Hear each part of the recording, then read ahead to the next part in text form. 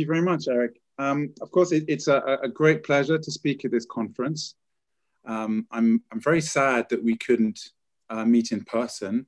Um, it's been a while since I've seen Dirk, and I think it would have been uh, tremendous fun. And I think it would have been fun because we could have done some of this. I wonder if you can see, can you see my screen? Nope, you can't, that's very strange. Uh, okay, let me find a different way. We could have done some of this. So at the risk of embarrassing Dirk, um, this is a photo he sent me um, of um, the, in, in, for a New Year's greetings in 2011 of a typical Kreimer family um, gathering. Um, there's quite an extraordinary collection of bottles there. It's well worth close inspection. Okay, so now back to mathematics. Um, I should say that, that I, I, was, in fact, slightly relieved when the conference was, was delayed, um, I, am sorry to say, because uh, this project um, wasn't finished. And, um, and I thought that when the time came, I'd have made some progress. And of course, nearly a year has passed, and I haven't worked on this for a single minute. So this isn't so much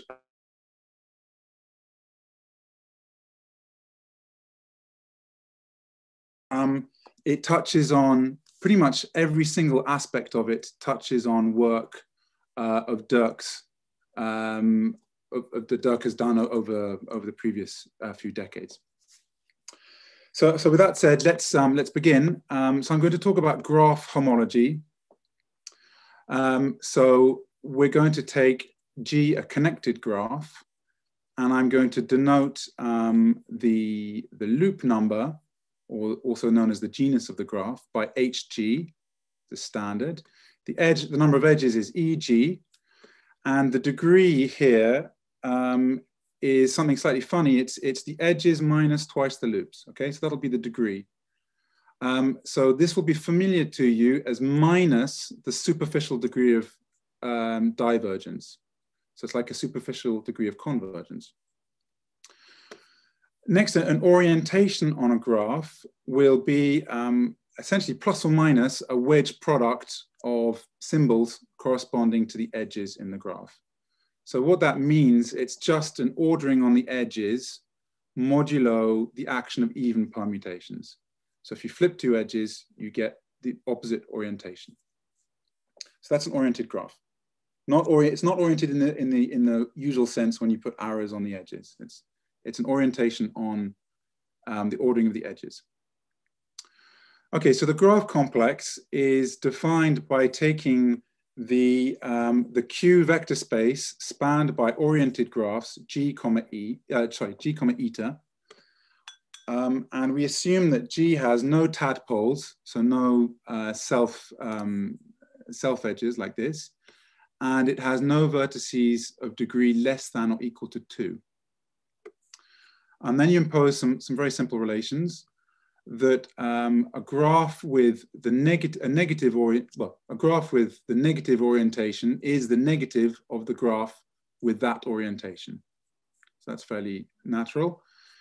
You also impose um, a relation that uh, g of, of eta is equivalent to the same graph um, where you um, where you permute the edges uh, according to an automorphism of the graph. So if a graph has an automorphism, um, it's equivalent to that graph, the, the, new graph with the new orientation. So in particular, if um, a graph has an automorphism which is odd, which induces an odd permutation of the edges, then its class is zero. An equivalence class is, it will be denoted in square brackets. Okay, so then on um, this vector space of graphs or oriented graphs, you can define um, the following differential. So this was done by Maxime um, many years ago.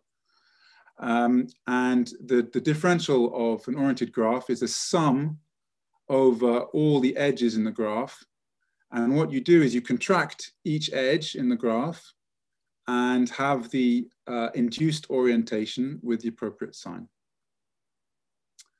Um, Okay, so this, this contraction, I use this, this double slash notation. Um, I always use this to mean the contraction where if you contract a tadpole, if you contract a loop, that's zero, that's the empty graph. Okay, so you're not allowed to contract um, tadpoles.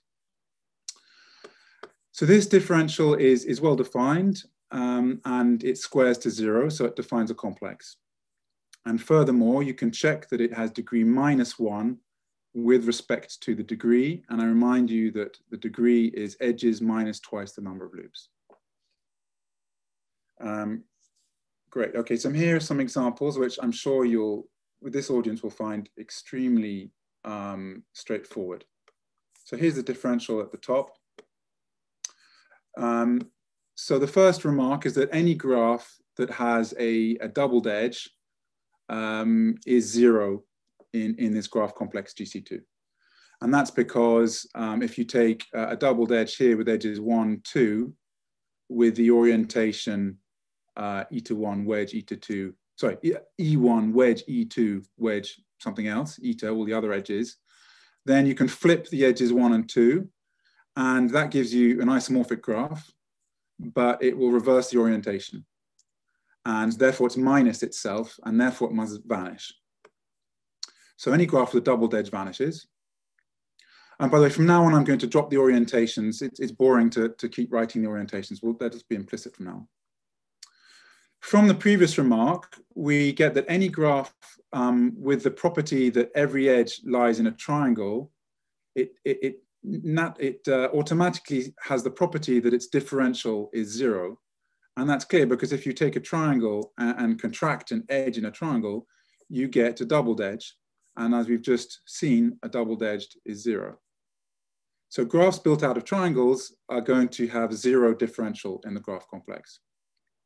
And our favorite example is therefore the, the wheels, the wheels with n spokes, and they satisfy, of course, D of the class of the wheel with any orientation, doesn't matter, is zero. Um, now, so here's just, just to hammer, the, hammer it home, I'm sure you don't need this. Um, here's another example of a differential in the graph complex. So we're going to contract all the edges in this graph here um, on the left. Um, these, there are two triangles, so contracting them gives zero, as we've already seen. The only edges that will do something when you contract them are the red ones. When you contract the top one, you get this, this gra graph here. When you contract the middle one, you get a wheel with four spokes. And when you contract the bottom one, you get this, this graph here. And the, the first and third graphs cancel out, and you're left with a wheel with four spokes. So the wheel with four spokes is exact. But in fact, more is true. The wheels with even numbers of spokes are always zero because they, they have a symmetry um, um, that, that's odd, and that forces them to be zero in the graph complex. So only the odd wheels survive. Okay, so graph homology is, um, so HNGC2 is the kernel of this differential modulo the image. And um, the homological degree is this degree um, edges minus twice number of loops. It's also graded by the genus, the loop number. So we get a bunch of homology groups and they are in turn graded. So what do we know? It's known that the homology um, vanishes in negative degrees um, for positive genus. Um, and it has a lot of extra structure. So the first bit of extra structure um, and here we, we, we, see the first interaction with, with the, the work of, of, of Dirk and, and Anna. And that's that the graph homology has a Lie co-algebra structure. And it's induced by anti-symmetrizing the, the Connes-Kreimer coproduct. So that's, I'm sure everybody here knows, has seen this before. You, you take um, the sum of, of a certain class of subgraphs, typically one particle irreducible, and you, on the left of the tensor, you have the subgraph, and on the right, you have the quotient graph. And I apologize, there's a typo here, which I can't change. This should be a single slash and not a double slash. Um, I'm sorry, that formula is wrong. The single slash means you just contract the subgraph gamma. Um, even if it contains a loop, it's not zero. So I, am sorry, I've used the wrong notation there. It should be a single slash. Um, okay, so then Willwacher showed in, in 2014 um, a, a, fantastic result that the, um, the zeroth degree homology of the graph complex is dual to the Grothendieck-Teichmüller-Lie algebra, is something that's explicitly defined, but quite tricky to understand. Um, so we don't know much about the Grothendieck-Teichmüller-Lie algebra at all. Um, what we do know is, is something predicted by, by Deligne. Um, so, this, so this was formerly, this used to be called the Deligne-Ihara conjecture, but I was recently told by Ihara that it should be called the Deligne conjecture. Um, so fine. Um, and it states that, um, that, there's a free Lie algebra with infinitely many, infinitely many generators, sigma 3, sigma 5, sigma 7, in degrees 3, 5, 7, every odd degree, which injects into GRT. So that means that GRT is huge. It's got this huge free Lie algebra inside it, and it, you can show. I think Willwacher showed that the um, the sigma um, that these sigmas end up being dual to the odd wheels. So sigma three corresponds to the wheel with uh, three spokes. Sigma five, the wheel with five spokes, etc., etc. Um, now, the first puzzle here is that, that, that this group is to do with motivic Galois groups. This, this free Lie algebra is the Lie algebra of a motivic Galois group. And so we can rightfully ask, what on earth have motivic Galois groups got to do with graph homology? And that, that's the first mystery that I like to come back to. Okay, so here's a picture of graph homology in low degrees.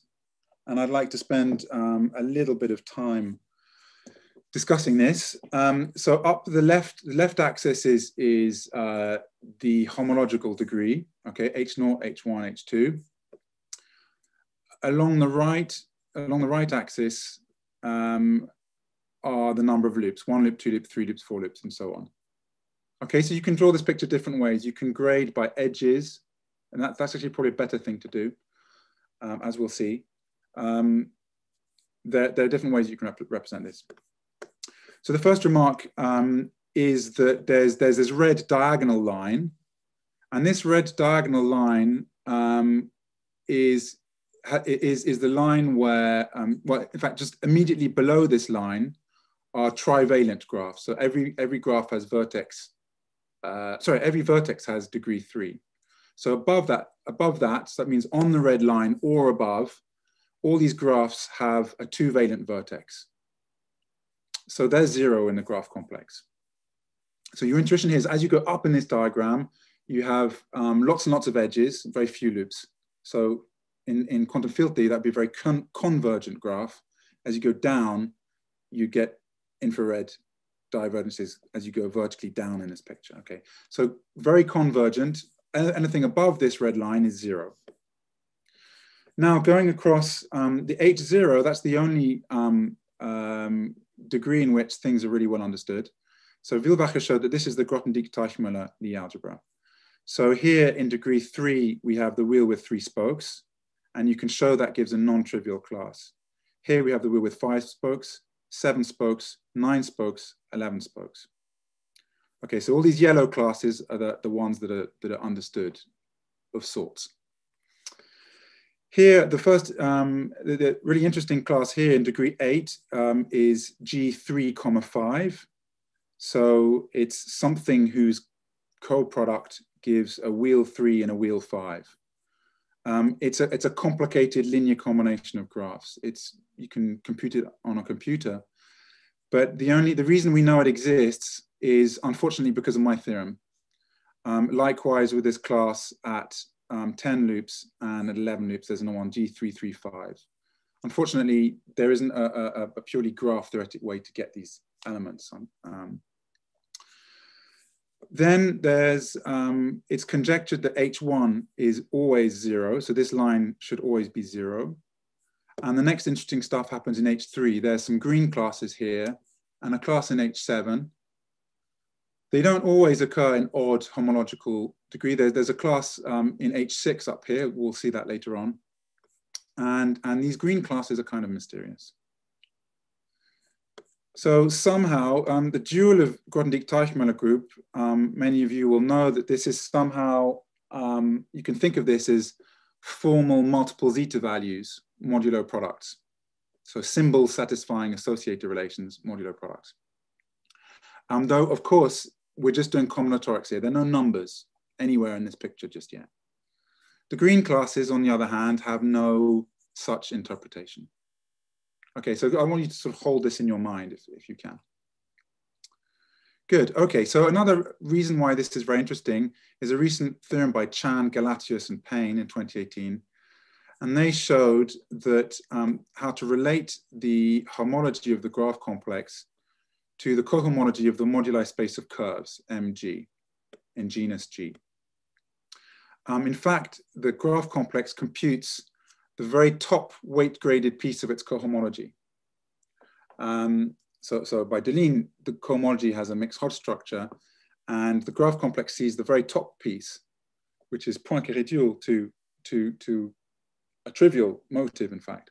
So the, the key thing here is that, that in this equality, from a sort of um, algebraic geometric point of view, the motives on the left are, are, trivial. They're just vector spaces. They're just Tate motives um, plus the data of a weight. So there's no GRT or anything like that that comes out of this picture. And that's, that's a puzzle. Um, and this wheel with three spokes corresponds to an interesting class in, in M3. Okay, so there are two questions that, that jump out.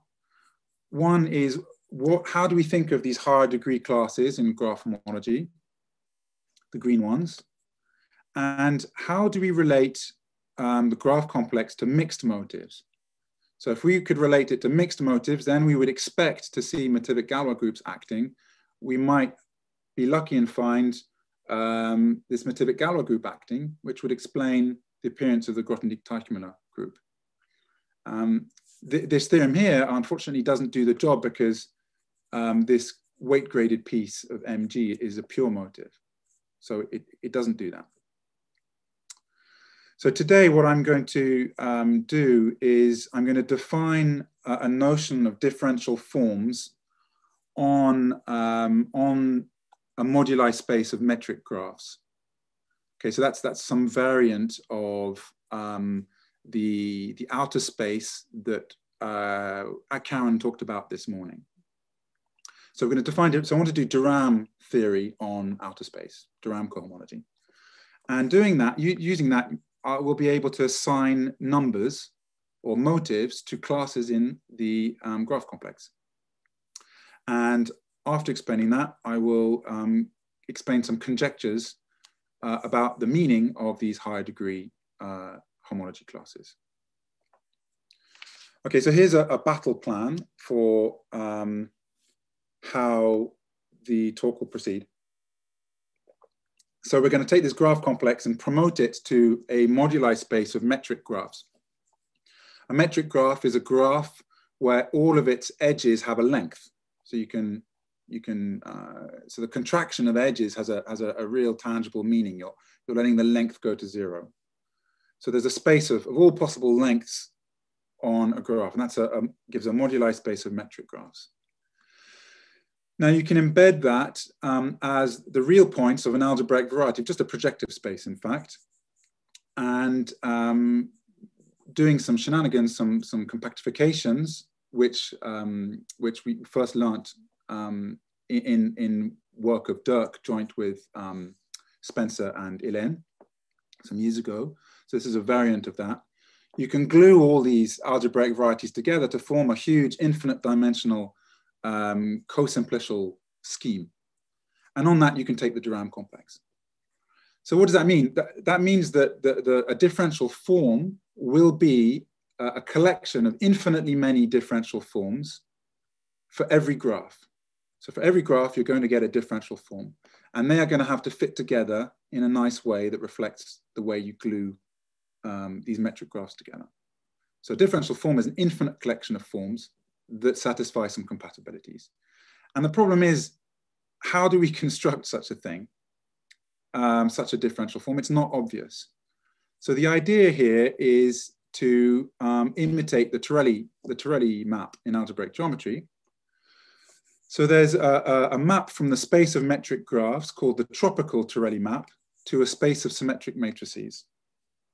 Um, and this came up this morning in Karen's talk. So what, on, on the space of symmetric matrices, we know how to construct invariant differential forms. So this goes back to work in the 1930s, I think. I think Brauer, uh, in, in the book of uh, um, Hermann uh, Weyl, it's, um, he mentions papers of Brauer in 1935. It may go back before that. So we write down invariant differential forms on the space of symmetric matrices, and then we pull them back to the space of metric graphs, and then we check that they, they satisfy all the properties we need. Okay, so that's the battle plan. So first, metric graphs. Um, so a metric graph um, is, a, is a graph. It'll be a connected graph plus the data of a length, a positive length to every edge. So that length is L sub E. And you normalize it so, that, so that the total length, the sum over all the edges is one. That means if you fix your graph and you allow all the edges to vary, um, the space of possible metrics is just a simplex. It's just the set L1 up to Ln, positive numbers such that the sum is equal to one. It's just a hyperplane. And the idea is that if you send a length to zero, that's the same thing as, that should topologically correspond to contracting the edge, which is a different graph, of course. That'll, that'll be a different simplex, a simplex associated to a different graph. Of course, when you contract edge, well, I'll come to that in a minute. So, so here's, here's, a, um, here, here's a picture, right? So let's take this graph here with um, a sunrise diagram with, with two vertices and, and three edges, has two loops, genus two. The edges have lengths L1, L2, L3. So though, and they are subject to the condition that their sum equals one. So that defines a Euclidean um, triangle, two simplex in Euclidean three space. And it's the open, it's the open triangle, right? It's the interior of this triangle. Now, as let's say, let, as um, one of the lengths goes to zero, so that means we travel, I don't know if you can see my, my mouse, but let's travel down to this, let's contract this, this length L2, let that go to zero. So we travel down the simplex and end up on the boundary L2 equals zero. So the boundary is not in the simplex, it was an open simplex, but this is the boundary in its compactification. So now we get a new simplex in Euclidean two space, where L1 plus L3 equals one. And that we identify with the simplex, the space of metric graphs of this type, now with two loops in which the middle edge has been contracted. And now um, it's the space of all possible values of L1 and L3. And we think of that as being a degenerate version of this graph for which the, uh, the, the, the second edge has zero length. So you take all these open simplices and you glue some of them into the boundaries of others. So what you, what you get then is um, this open simplex and the three faces, but you don't get the three corners, okay? So three corners correspond, would correspond to contracting a tadpole, contracting a loop, and we're not allowed to do that. So, so in, in outer space, for example, the, um, the, all, all the, these faces sort of fit together in a stratified way, but you don't have the corners. And that's very important. Um, so I've written here that you, you can assemble all these simplices to, to, to form what I think is called reduced outer space. I'm, I'm not 100% sure on, on the terminology um, here. There's lots of different variants. Um, a caveat here is, of course, in outer space, you need marked graphs. Um, the markings actually play very little role here, so I'm, I'm going, to, going to just ignore that. Um, and the next stage then, so that's uh, th that's a space of metric graphs. Now I want to make it algebraic. It's very easy. We can just identify this, this simplex as the real points in a projective space. So the set of Li uh, positive reals that add up to, to one, we can just view that as, as the positive real coordinate simplex inside projective space. Okay, so here comes an approximate definition. It's actually it's an okay definition, but it's not going to it's not going to be um, what we need actually. But then uh, an algebraic differential form then on the space of metric graphs, um, so a form of degree k, will be an infinite collection of algebraic differential forms, omega g, for every graph. And it's going to be a form on this open simplex. But when I say it's algebraic, I actually mean it's, it's a form on this bigger projective space that the simplex sits in. Um, and I'm going to allow it to have poles because we're going to need that. Um, what we want is for it to, um, to extend, sorry, we want it to be smooth on this, the, the space of metric graphs. So it's smooth on this real Euclidean simplex. Then what we want is that we want it to extend to the boundary and in such a way that on the boundary, it agrees with the differential form corresponding to the contracted graphs um, that, that sit on the boundary. And finally, we want this to be functorial with respect to automorphisms of the graph. So if the graph has an, an automorphism, then the differential form, um, so if you have isomorphic graphs, then, then their differential forms should be um, isomorphic. So here's a picture, um, the same simplex as before. So if we want to, what will a, a differential form look like? Well, it'll be uh, a differential K form here on the interior of the simplex. So that form is indexed by the sunrise graph. And it's a form in the three variables L1, L2, L3 corresponding to the three edge lengths. Um, and then on each face, we have um, differential forms for each graph. And the property should be that this form, when restricted to the boundary, should line up, should match with the forms corresponding to these quotient graphs. Now, now the, if you look at these three faces, in fact, they all correspond to the same graph. It's just that the edge labelings are different. And therefore, these three forms, in fact, should all be the same. They're just obtained from each other by changes of variables, and that's the third property. Now, the key point here is that it's not obvious to construct such a thing, because if you try to do it inductively, you start with the, the boundary of your simplex, and you, you might have defined something on the boundary, then you need to extend it into the middle of this simplex. And you might be able to do that, but then you need to extend it into the larger cells and so on and so forth, infinitely many times. And you've got to do that in a functorial way. So it's not obvious. So the way we'll do this is using the Torelli map. so let me skip that. And um, basically, we'll, we'll um, replace the graph with its Laplacian matrix and define an invariant form on matrices. So let me quickly remind you um, of the uh, graph Laplacian.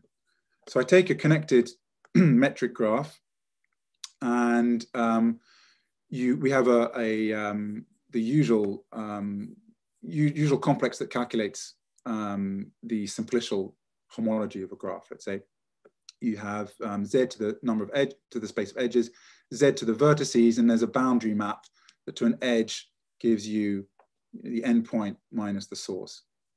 And the kernel of this map is the homology of the graph. Because the graph is connected, um, the, the co-kernel is, is, is, is H0, which is just Z. Now what we do is define an inner product on, on the set of edges. This will be extremely familiar to, to everybody here, I'm sure. You just say that two edges, the inner product of two edges is zero if they're distinct edges, but it's the length of that edge if it's the same edge. The norms, the norms of the edges are the lengths. and that, that's an inner product on this space. It restricts to an inner product on this space, okay, on, on the homology. And that's the graph Laplacian. So um, another way to say it is that, that you, um, um, well, you can just write it in terms of matrices in, in a very um, straightforward way. So that it's probably easiest if I just show an example. Here's the wheel with three spokes. Um, it's, it's got three, three loops. So here's a basis for the loops. You know, this loop 156, this loop 246, and this one 345. You write down this incidence matrix where the rows are indexing all the edges. Um, so, so the loop 156 involves edge one, edge five, and edge six, right, with appropriate signs corresponding to choice of orientation. The inner product um, I defined, uh, I mentioned a minute ago, that it gives the length um, Li to edge i is just a diagonal matrix in this basis. And the graph Laplacian, you just take this matrix, the incidence matrix transpose times the diagonal times epsilon.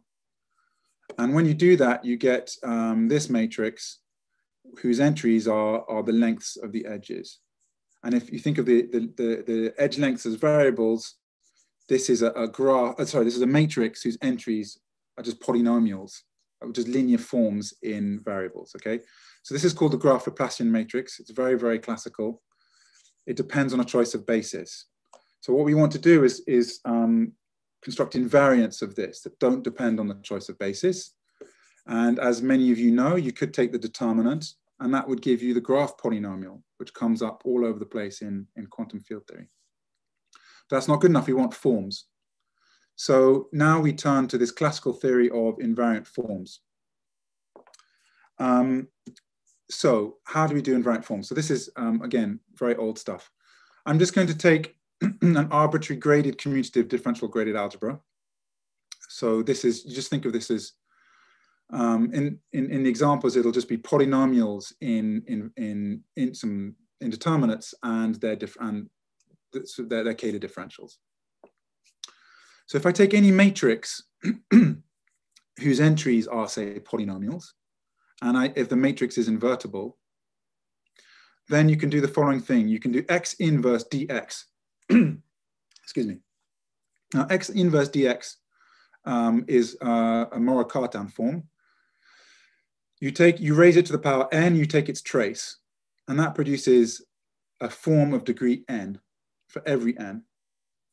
Now, very um, elementary properties of the trace shows that this vanishes when n is even. It's um, always closed. It's a closed differential form. It behaves nicely with respect to transposing matrices. So if you transpose a matrix, you get a sign. And that shows in particular that when your matrix is symmetric, and our, our, our graph Laplacian matrices are always symmetric, then um, the half of these forms always vanish.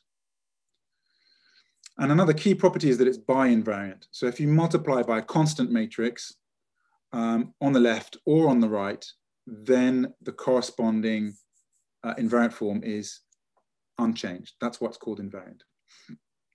Another thing that's quite important is that if X is a K by K matrix, then all these forms vanish once the degree is bigger than twice the size of the matrix. And, and here's a plea. Um, it, you can notice that, that um, um, in fact, more is true. It's not just the trace, but the matrix itself identically vanishes in that range. And if anyone knows a reference for that, please could you let me know? Um, okay, so the first such form is just the, um, the, the, the, logarithmic derivative of the determinant of the matrix, okay? And then we have all these odd forms, 3, 5, 7, 9, 11, 13. Um, and if x is symmetric, which is our case, 3, 7, 11 vanish, and we're just left with 5, 9, and 13.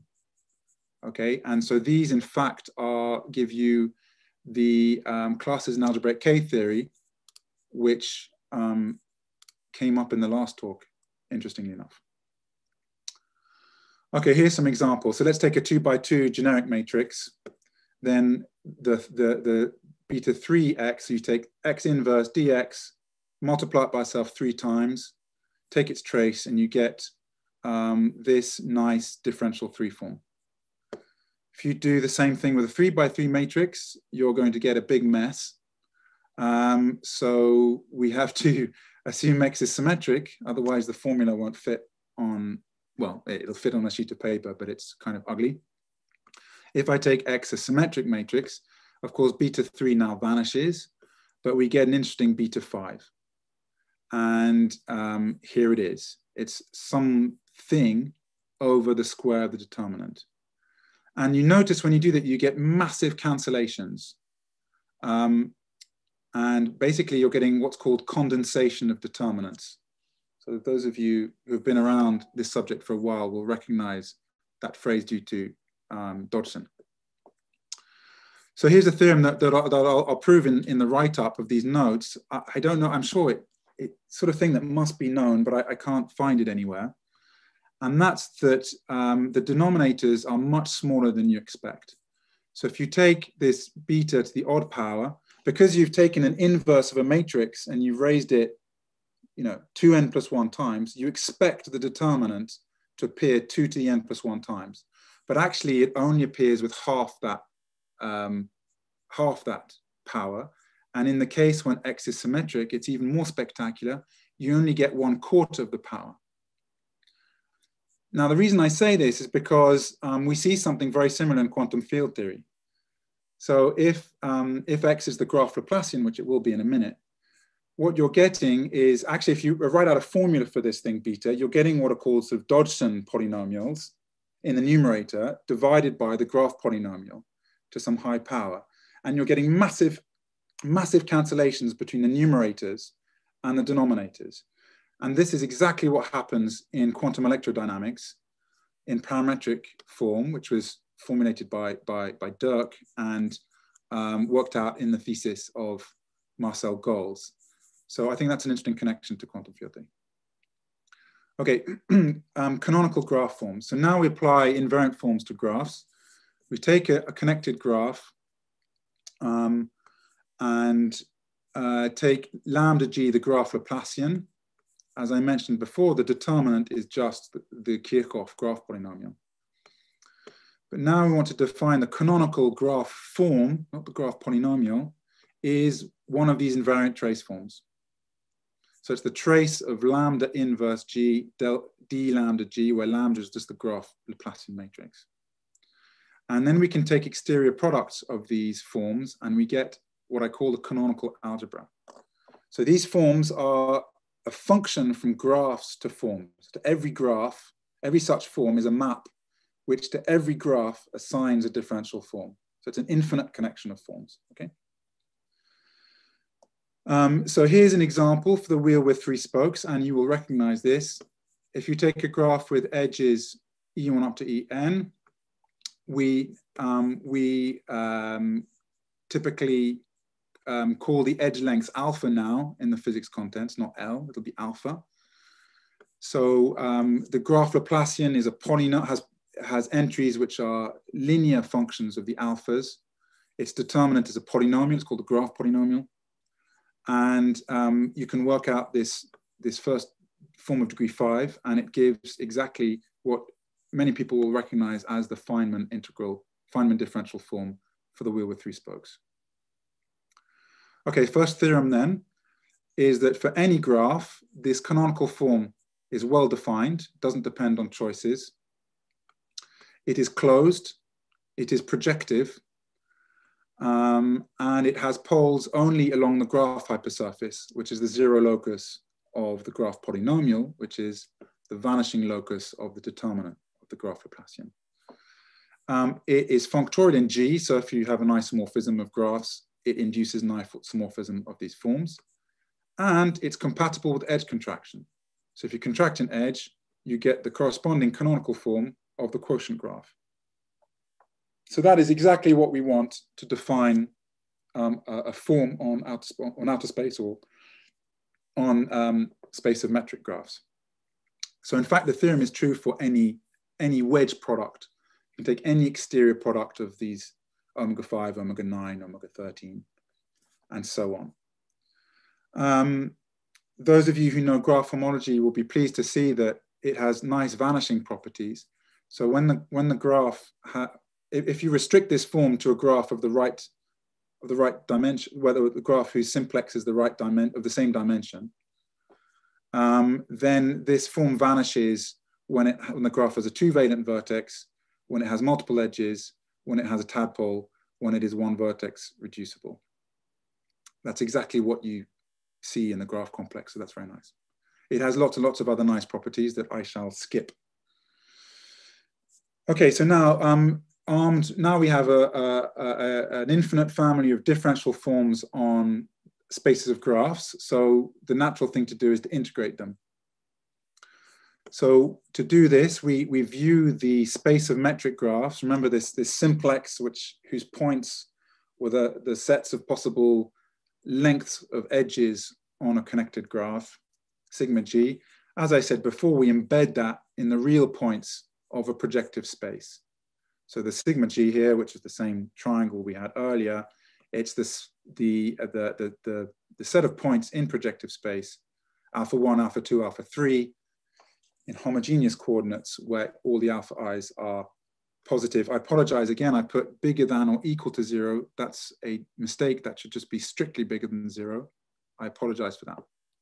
So that's, that's a typo. That should be um, strictly bigger than zero because the simplex was the open Euclidean simplex, which is very important. Okay, um, and as, as many of you know, of course, that these forms ha have, have poles along, along the boundary. So there's a whole tricky business here um, that was uh, initially, in, in, the, in the case of Feynman integrals, worked out by Dirk and, and Spencer and Hélène, where you've got to do some blow-ups. Um, and there's a whole business that I'm not going to talk about for reasons of time. But many of you know that very well. Okay, so the first theorem is you take any connected graph and any canonical differential form, this trace of, invariant trace of the Laplace matrix, and I, I, suppose that I assume that the form is of the right degree to integrate it. So it's a, it's a, a, a K form on a K simplex. So that means the, the number of edges of the graph is one more than the degree of this form. Then you can try to integrate this form over the simplex. And at this point, all the physicists brace them, adopt the brace position and take cover because as we know, Feynman integrals never converge. They are always infinite, pretty much, in, in all the interesting cases. Um, but this is the opposite. It's always finite. So even if you take a graph with the most horrible subdivergences you can imagine, the integral will always converge. Um, so that's kind of amazing because we don't see that very often in quantum field theory, ever, in fact. And in fact, this integral is a period of phi to four theory because um, this integrand, the differential form, is some numerator, some very complicated numerator, over the graph polynomial, the first Symanzik polynomial. So it defines some period in phi the four theory. Okay, so here goes, um, I'll just um, a quick message to the organizers. I, I, think I started a bit late. I started 10 minutes late, so I'll take the liberty of talking till 20 past. Sure, sure. Yes, okay. please. Is that okay? Yeah, okay, thanks. Um, I'm, I'm nearly done anyway. Okay, so here's some examples. Um, the wheel with three spokes we've already seen. If you compute this canonical form, you get, in fact, 10 times the, um, the, the, the residue um, the, the, coefficient of one over epsilon in dim reg um, in, in phi to four theory. And so everybody knows that that is six zeta of three. Um, I had that explained to me, first of all, by, by Dirk and David many fond years ago. Um, uh, this, is, this is sort of the cornerstone, the thing that got me interested in, in all of this in the first place. But now it gets interesting. So the wheel with five spokes um, is not what you think. It's a complicated thing. It's um, the Feynman integral. Some omega g is just some some you know some alpha i d alpha one dot dot dot, and you omit a d alpha. It's just the standard um, projective form. Plus some multiple times alpha one to alpha five is a product of all the edge variables corresponding to the internal spokes. And this integral is not zeta 7, the Feynman period of this graph, which is integral of just this first term. So the Feynman integral is, is just this piece, and that would give zeta 7. But this integral gives a multiple of zeta 5, it's weight drop. And this coefficient exactly co conspires to cancel out that coefficient of zeta 7 and give you a zeta 5. So again, this is incredibly reminiscent of quantum electrodynamics, where we know that the highest weight parts in the quantum field theory cancel out. So it strongly suggests that quantum electrodynamics or other gauge theories might have some matrix theoretic formulation in, in, in, in this spirit. We're with seven spokes, now it gets seriously hard to compute these, um, these forms. Um, I worked it out. Um, sorry, I didn't, didn't check all the signs. It's something times e to seven.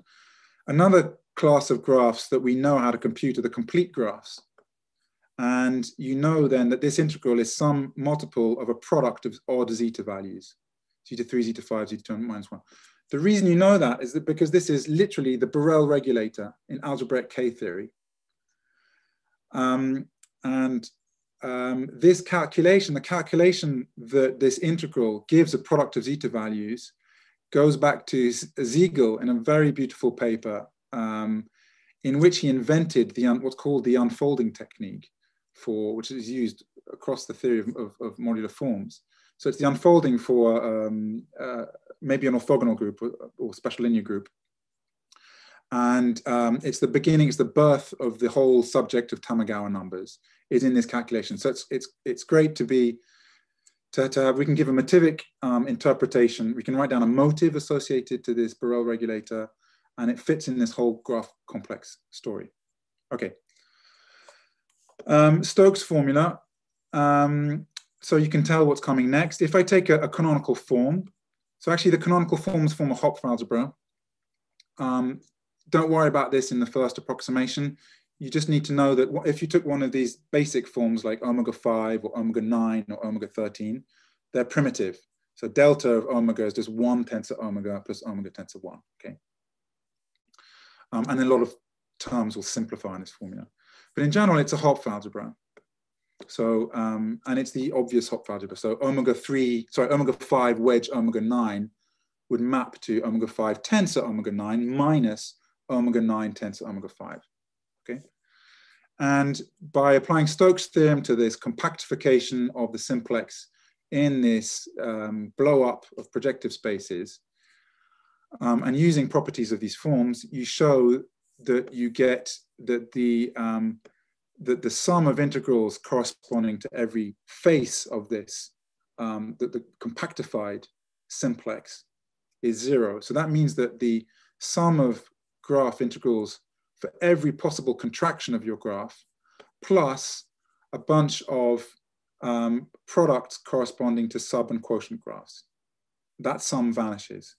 So you'll recognize on the right this Connes-Kreimer coproduct. And the proof is once you've set everything up, it's very straightforward. So we can rewrite this um, Stokes formula by taking this coproduct here and writing it into the trivial part, omega tensor 1 plus 1 tensor omega, plus the reduced coproduct. And when we do that and rearrange this, what we find is that it, the Stokes formula has three terms. It has the first term, which is literally the differential in the graph complex. It has a second term, which is what is sometimes called the second differential in the graph complex which is the differential where you don't contract edges, but you delete edges, and that's also a differential in the graph complex.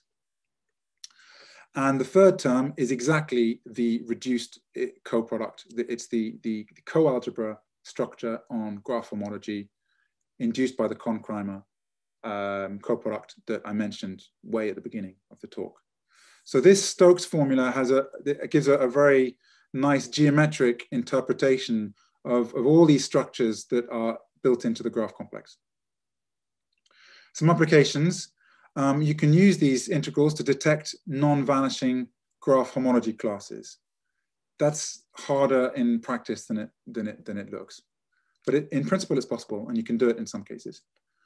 Um, we can associate a motive to any um, graph homology class. So that explains perhaps why we get Grothendieck-Teichmüller motivic Galois groups appearing in graph complexes. And this third point here, I'm a bit embarrassed by, um, but it is actually true that the cosmic Galois group um, acts on the differential forms on outer space. And it sounds like a big joke that I've concocted this. Um, I promise you, I didn't come up with the phrase cosmic Galois group. It, it was due to Cartier, as we learned in the last talk. Um, outer space, it was coined by, by Karen uh, it just happens that these things are in fact very closely related in a meaningful way by, by this machinery. So here's an example of the Stokes theorem. So let's go very back very quickly to, whoops, to this picture of graph homology. Remember there was this, this class here, which is the first non-trivial sort of Lie bracket or, uh, across G3, comma 5 and weight 8. And using it, we're going to calculate um, an integral on this class, this green class way up here. And the way we do that is we, we take this, um, this graph here, it's a linear combination of graphs, and we integrate zero over that graph. We apply the Stokes theorem to, to that. And what it does is it will produce, because its co-product is a wheel three and a wheel five, which gave zeta three and zeta five, We then do these, these differential D and delta, these different, these two differentials in the graph complex, and we zigzag our way up to this class. And using Stokes' formula, we deduce that the integral of omega 5 wedge omega 9 on, on this class here is in fact zeta 3 times zeta 5. And that proves that this class, this green class, is non-vanishing in homology. Um, so sorry, that was a bit quick.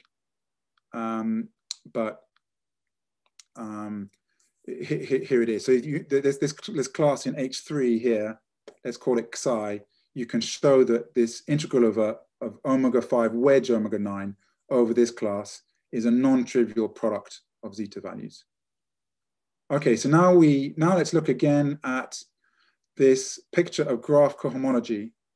So graph homology, I've, I've actually switched to graph cohomology because I, I, want to dualize because we're talking about forms. So it's, it's, it's easier to relate to graph cohomology, but it's, it's the same. It's really the same thing.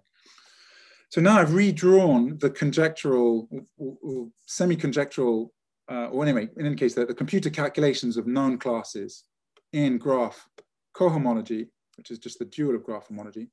And I've, I've given them names, and the names are these um, differential forms and Lie brackets of these differential forms. So what we have, omega 5 corresponds to the wheel with three spokes, omega 9, the wheel with five spokes, omega 13, the wheel with seven spokes, etc. Then we have wedge products, and the first wedge product is this class in H3. We have a triple wedge product up here in H6, and so on and so forth. And then we have Lie brackets of the original forms, and we also have Lie brackets of the wedge products of these forms. And these classes line up exactly with all the known graph homology classes. So here's a conjecture. Um, I conjecture that the, the free Lie algebra on this canonical algebra of differential forms injects into the graph cohomology. It does it in a funny way so the grading here is the number of edges, is the degree, and it corresponds to the number of edges. We have to forget, I don't know, they, they line up in, in funny cohomological degrees. I don't know how to predict those. Obvious question one is, is this map an isomorphism? Um, I, I, because um, I can later deny it, I will conjecture here during this talk that it is an isomorphism, but I may, um, I may deny that later on. I reserve the right. But anyway, it's a conjecture, but it's a, a weaker conjecture, a more tentative conjecture than the previous one. Um, and I was going to say something about the, the dual, since I'm out of time, I'll, I'll stop and, and leave you with this, this picture so you can, you can, uh, you can contemplate it um, if there are any questions. Um, thank you very much for listening. Thank you, Francis. This was uh, Amazing, thank you. Um, I, I, have a million questions, but uh, if anybody else wants to go first. Um, I'll go first. So the G35 linear combination, which you said was hideous, do you have it handy? I'd love to know just. When, oh, it's known. I mean, I, I think it's um, it's written down in, in, in some papers. That, that one's okay. You can compute that one, but I think um, I think the limits of the computer calculations are, are this column. I, am not 100% sure, and I'm, I'm out of date. As I said, um, I got this from, from slides of talks a year ago. I don't know if things have moved on, but I think the, the, the 10 column and everything to the left of it is checked by computer, and this column 11 is possibly not. So, so you, you'll get your 3-5 graph, but you'll be in a mess when you, if you want to go much further than that, you, you're going to have to give up. I think if you just want to compute the graph, you can take G3, G5, and just compute the graphical bracket. Um, I mean, the non-trivial question is that, it, that this is a non-zero class. So yeah, but also, um, so there's difference when you work in graph homology or graph cohomology. Yeah. So if you work at the graph cohomology, the classes are not wheels; they're wheels plus an, a, a long tail that's not known. Yeah. And and you've got to take the Lie brackets of those but you don't yeah. know what they are. We have a question of David. Yes, uh, I didn't mind you throwing away half of the wheels. I thought that was quite fun, given that you got back the zeta values uh, decreased. Um, but as it's the week of Dirk's birthday, uh, do you have any thoughts about the zigzag diagrams? Those are, after all, the only infinite class of diagrams on quantum field theory which have a closed formula, which Dirk and I conjectured and you and Oliver proved. That's a that's a great question. Actually, um, when I I'm, I'm new to this subject. When I first learned about this at, at a conference uh, um, a year a year or so ago, I asked exactly the same question to the experts, and they they said they didn't know. It's a great question. Thank you. Uh, I, I wanted to ask a question about the weights. I mean, you mentioned these weight drops and you had these, I found it quite striking that you had these pure weight uh, evaluations of these wheels with these complicated integrands and you just got a zeta 7 or just got a zeta 5. So is there like a understanding from the structure of the blow up that you get some bounds on the weights that would predict this? Um, it's not obvious from an algebraic geometry perspective, not that I know of. But I, I kind of have the feeling that all these, these integrals come from this Borel regulator. So you know that um, morally, beta 5 wedge beta 9 corresponds to zeta 3, zeta 5. And so somehow, what I, I, I would like to be able to do, but I can't do it, is, is, is relate um, is relate this complete graph using Stokes formula and identities to wheel three tensor wheel five, hmm. and that would give that would give it immediately. Yeah, but I, I don't know how to do that, so I, I used I did that argument in the opposite direction to compute the one of the examples.